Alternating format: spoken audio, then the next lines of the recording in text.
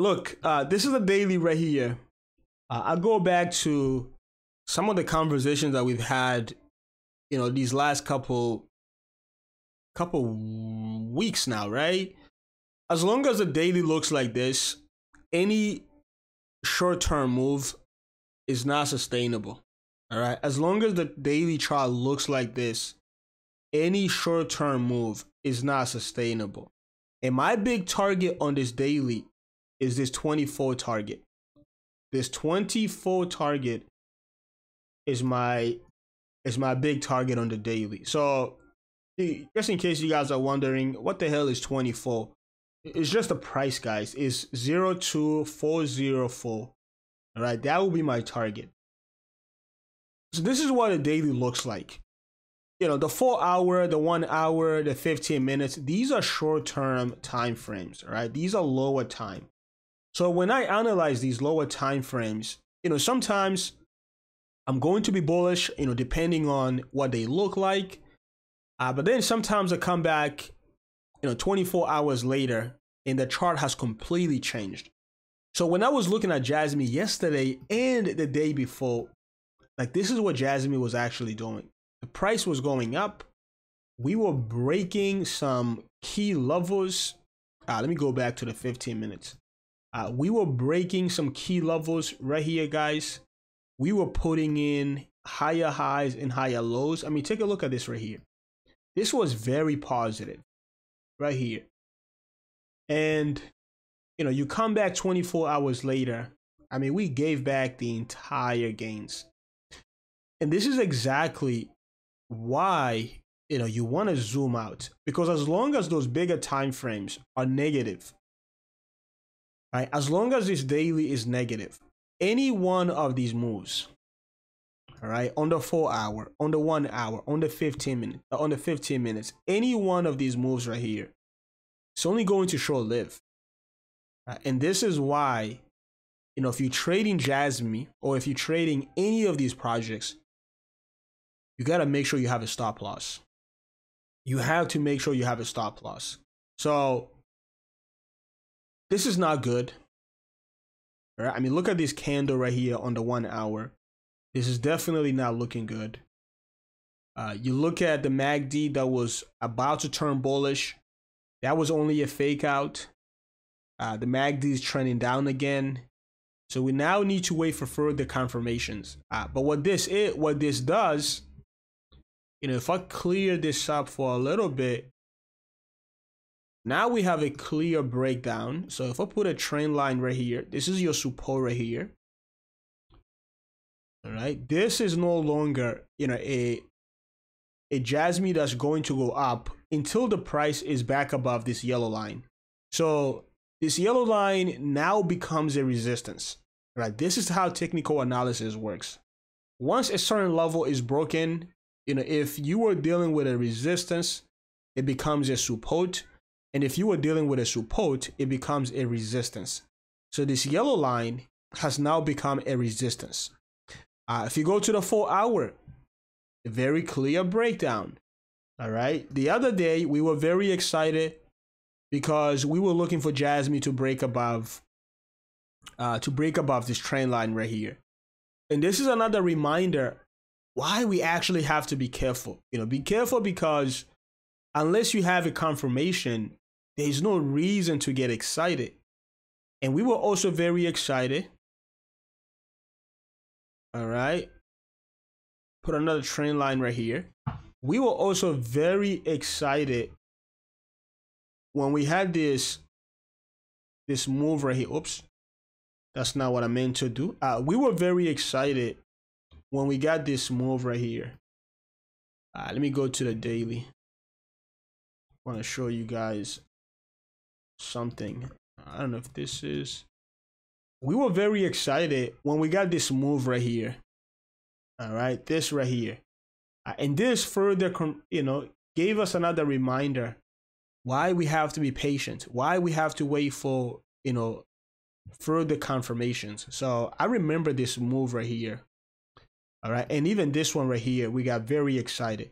So every one of these rallies right here, guys, as long as this daily continues to look this nasty, because to me this is nasty work right here.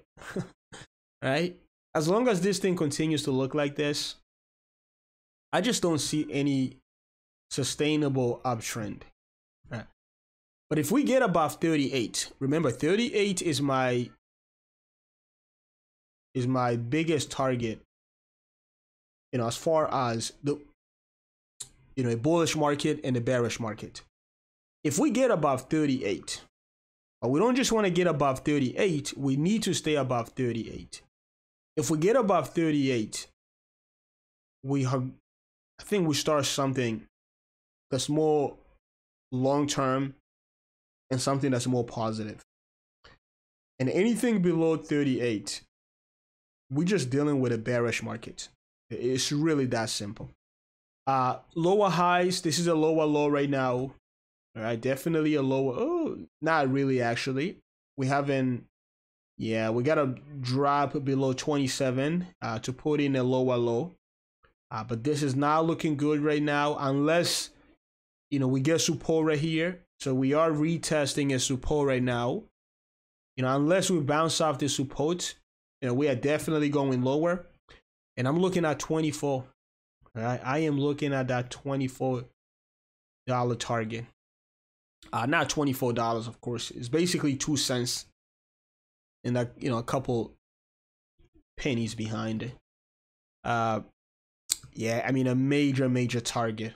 Definitely a major target. Uh, on the daily, I want to see some bullish divergency from from this MACD right here. Uh, we don't have any of that right now. And also, you guys may remember, you know, I talked about the daily MACD in this bearish territory. So the daily MACD is now below the zero line. And that's not a bullish, you know, that is not something that's positive. Like that is super, super negative. Uh, let's take a look at the RSI and see what's going on. So if you look at the RSI, RSI below the 50 line, this is not bullish, guys. This is bearish. Whenever your RSI is below the 50 line, uh, you in a bearish territory. You know, you want to be bullish and you only want to long something that's above the 50 line. So a great time to long Jasmy was right here. All right, from right here, this was a great time to go long. When the RSI was right here, and you would have captured this big move. You know, if you would have, if you would have went long right here, you would have captured this big move right here. This is 143 percent. So we need the RSI to break above the 50 line again.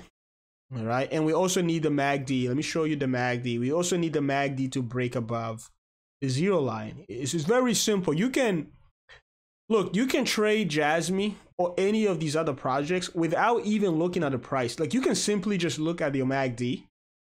Like honestly, without looking at your price, you know that this was a great time to go long. Uh, let me show you right here. Let me use a vertical line you know that this was a great time to go long. Right here. You know that this was a great time to go long. Right there. All right, for move to the left, I know, and you should know, that this was a great time to to go long right here. Right here. So the question is, what exactly are we looking for?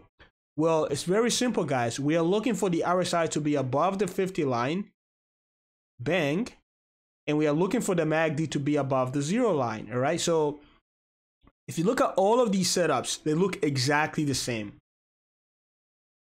So we are patient. We are patient on the sideline when Jasmy is doing some other stuff and when our indicators are doing some, oops, should have extended that. And our indicators are doing some other stuff. We are patient and patient and patient. All right, just like a sniper. And we only go long when we have a situation like this.